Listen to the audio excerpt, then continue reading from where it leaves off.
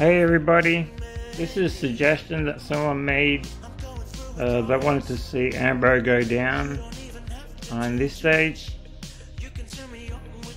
Here we go. I kind of messed up a little bit on this one. I end up wasting one of the wins, which was a bit unfortunate.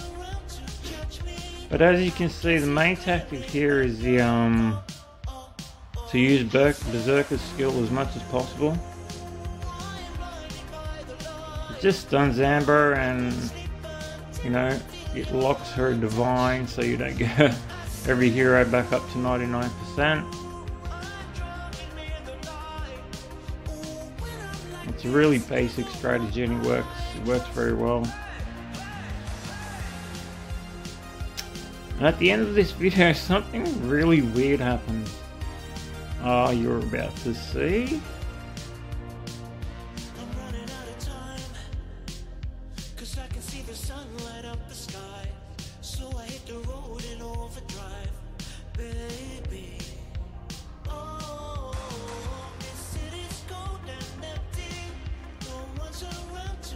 She's down 7%, 6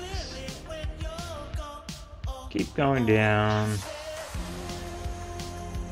If I didn't waste that win, she'd be dead already. But, yeah. Let's see where she is. She's at 5. One second. She should be at 5. But wait, she's at 75. How did that happen? No idea. Okay, let's go through it from the beginning. We'll have another opportunity. Oh, come on. So what you want to do at the very start is drop. Here we go. Kind of weird doing a video after you've done it and then recording audio over it. But yeah, we're giving it a shot. Drop Pangoli right at the corner here. Use his divine.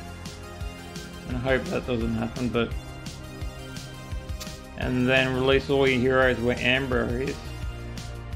Use ET Divine to protect your heroes, Berserker Divine, and then his skill constantly. Just one after another. Give him the blade if you have a max blade, that's going to help a lot to reduce his cooldown.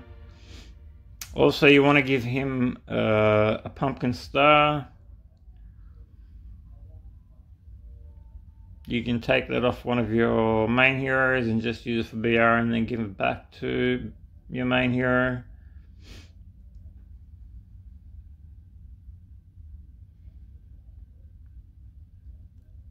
Which sure helps a lot when you don't waste that fourth wind.